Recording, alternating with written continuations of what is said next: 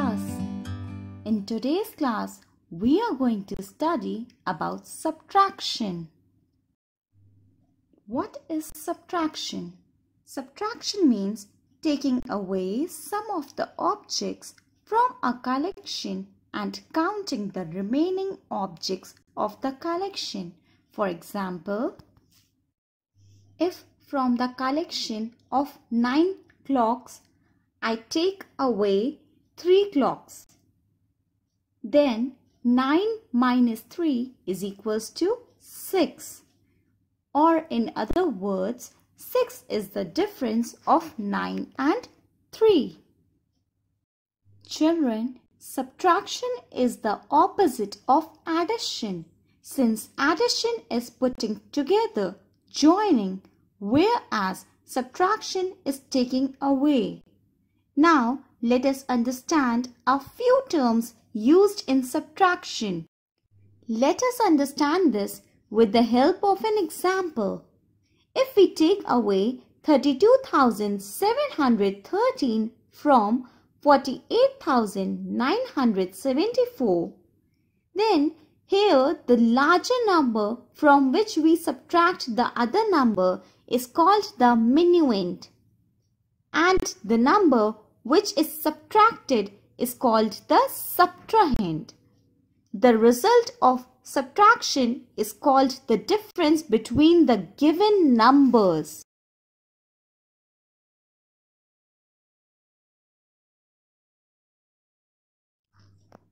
Let us revise the properties of subtraction.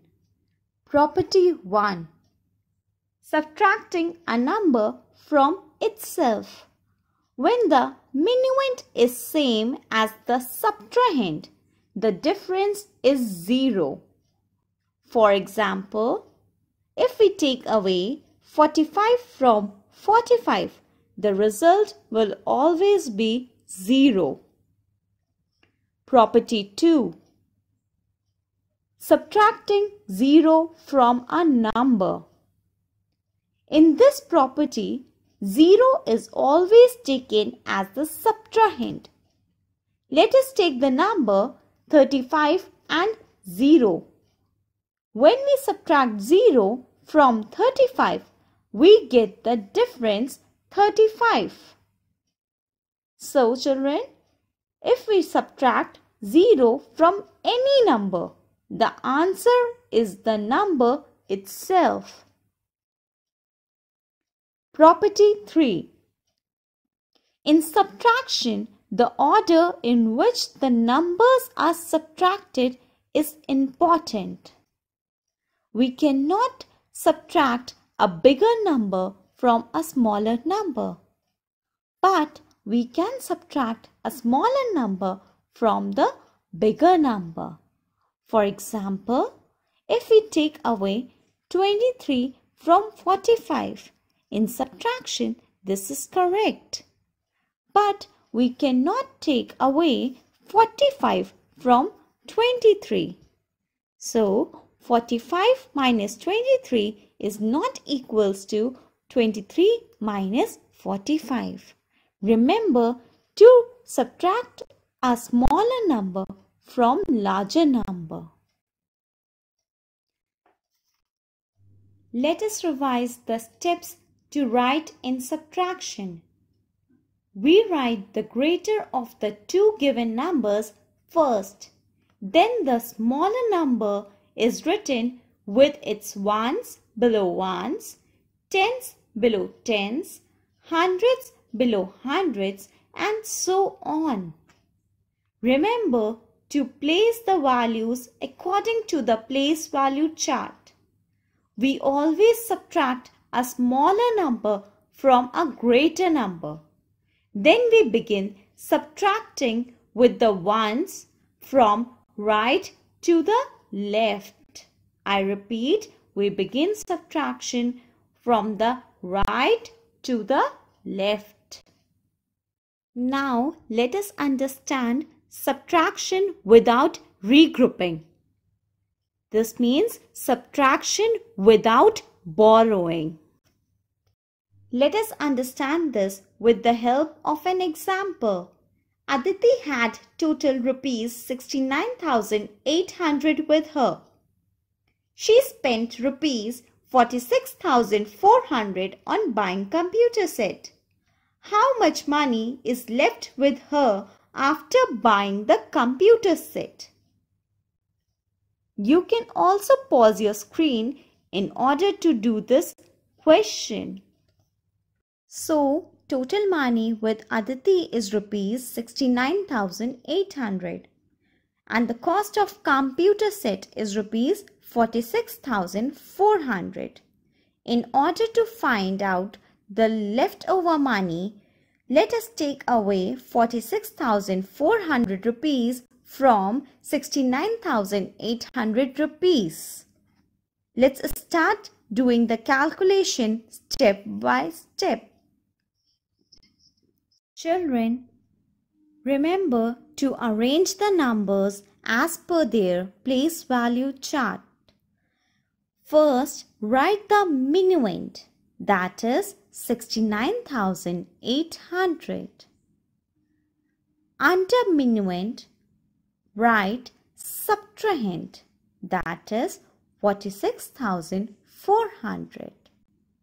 Now, let's begin subtracting from the right hand side that is from your ones column. 0 ones minus 0 ones is equals to 0 ones. Write 0 in ones column.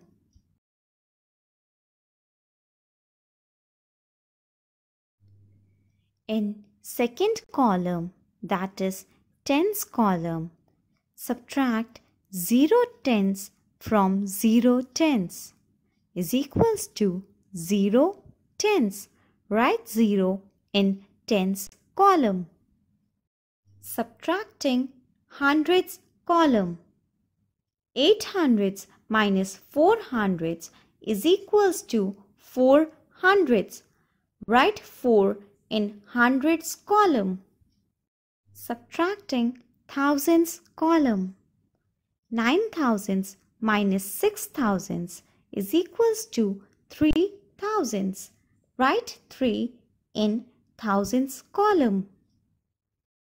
Subtracting 10 thousands column.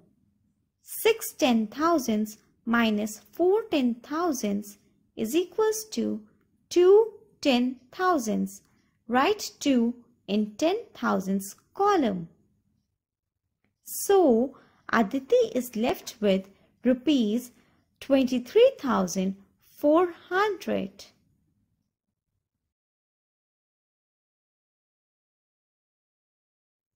Now children, let us understand subtraction with regrouping.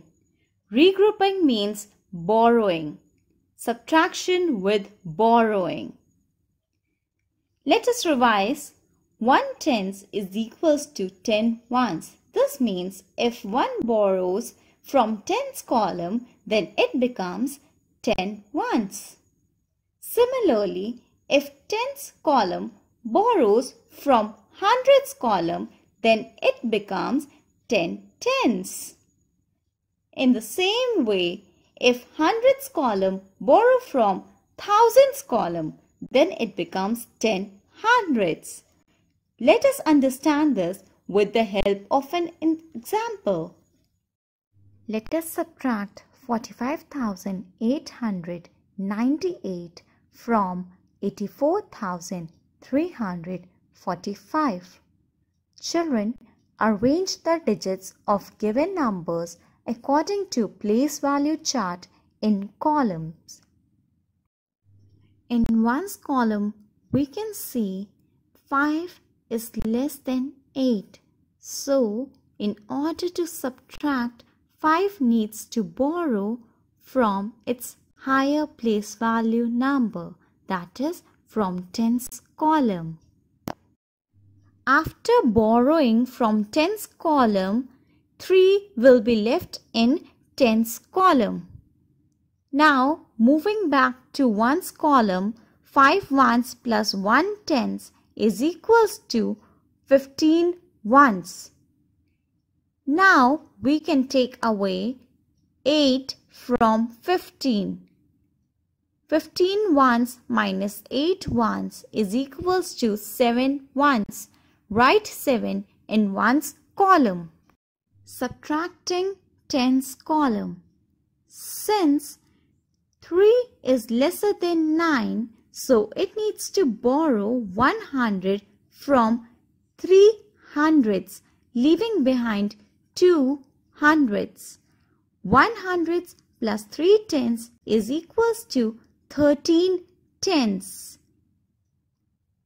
Now, 13 minus 9 is equals to 4 tenths. Write 4 in tens column. Subtracting third column that is hundreds column.